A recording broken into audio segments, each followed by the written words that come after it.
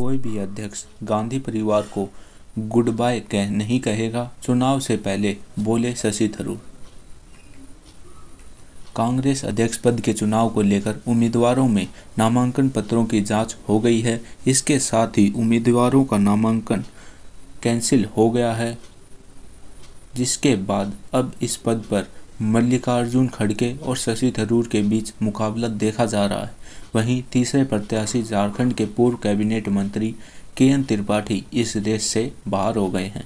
इस बीच चुनाव से पहले कांग्रेस सांसद शशि थरूर ने कहा कि कोई भी अध्यक्ष गांधी परिवार को गुड बाय नहीं कहेगा।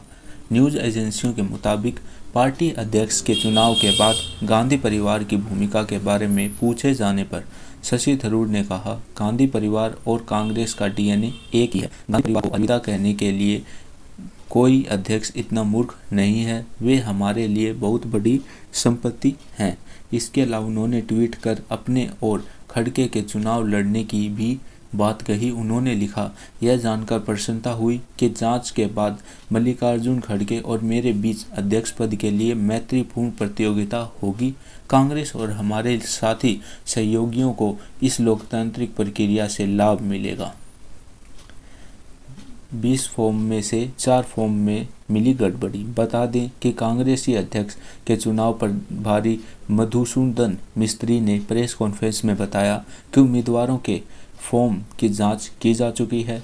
इसमें 20 फॉर्म में से चार फॉर्म में हस्ताक्षर में भिन्नता पाई गई, जिसकी वजह से उन्हें कैंसिल कर दिया गया है। अब इस चुनाव में मल्लिकार्जुन खड़गे और शशि थरूर आमने सामने होंगे। झारखंड के प्रत्याशी के एन त्रिपाठी का फॉर्म रिजेक्ट हो गया है। दरअसल खड़गे और शशि थरूर ने गलत की, गलती की गुंजाइश को देखते हुए एक से अधिक फॉर्म दाखिल किए थे।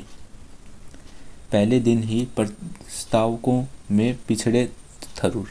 यह भी बताते चले कि खड़के के नामांकन में 30 कांग्रेसी लीडर्स प्रस्तावक बने, जबकि थरूर की ओर से सिर्फ़ नौ प्रस्तावक बने थे। खड़के ने प्रस्तावकों में जी तेईस के नेता भी शामिल हैं।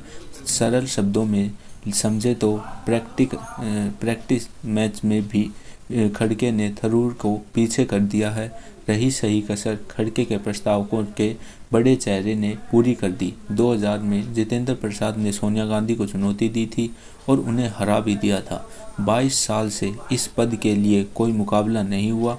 राहुल 2017 में सर्वसम्मति से चुने गए थे अध्यक्ष पद के लिए और 2017 से 2019 में सोनिया गांधी ने एक ब्रेक लिया था और सोनिया गांधी सबसे लंबे समय तक पार्टी अध्यक्ष बनने का रिकॉर्ड कायम है। 2019 के लोकसभा चुनाव में कांग्रेस की हार के बाद राहुल गांधी ने पार्टी अध्यक्ष से इस्तीफा